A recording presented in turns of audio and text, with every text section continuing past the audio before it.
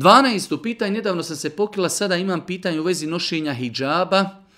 Čula sam različita mišljenja. Da li je dozvoljeno nositi e, hlače koji su široke, suknja hlače? Koliko se sjećam, smo mi nekoliko puta odgovarali na slična pitanja, kako u ovom serijalu, tako i nekada prije. Islamski učenjaci kada govori o uvjetima e, za odjeću, džilbab, koju treba da nosi žena, kažu između ostalog da treba da bude široka i da ne oslikava konture ženinog tijela.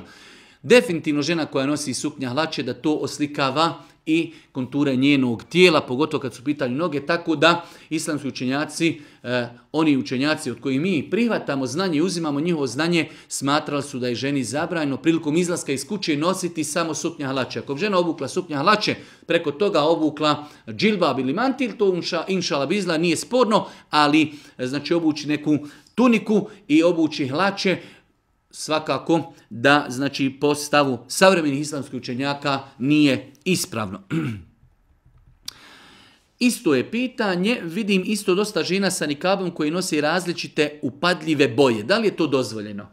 Definitivno jedan od problema savremenog doba jeste i, i izigravanje sa nikabom. Prvo je šetan srušio hijab, tako da ćete danas veoma rijetko vidjeti sestru koja nosi e, mahramu lijepu i širok džilbab. E, nakon toga, kada je završio džilbab, kada su žene počele nositi turbane, kada su počele nositi jaknice, kada su počele nositi suknja hlače, helanke i mnogo drugih stvari, nakon toga je šetan počeo i da radi na polju nikaba, pa ćemo vidjeti različite modele nikaba i strukirane, i juske, i šarene, i svakakve nekakve.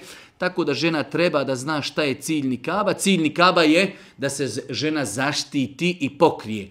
Tako da, e, kad su u pitanju boje, Islam to nije precizirao, ali neke boje koje su tamnije, da kažemo, uh, hajde da kažemo, eto, znamo svi šta znači neke tamnije boje koje ne privlače pažnju kada žena prolazi ulicom, ali neke žestoke boje, kao što možemo, nažalost, u zadnje vrijeme, u zadnjem periodu, šest mjeseci i godinu dana, doista imamo se stara koji su počeli da se poigravaju sa bojama kada je u pitanju a, nikab, trebalo bi to pripaziti, znači žena treba prvenstveno da nosi a, znači neke tamnije boje kada su u pitanju sestre koji nose i džilbab i koji nosi nikab.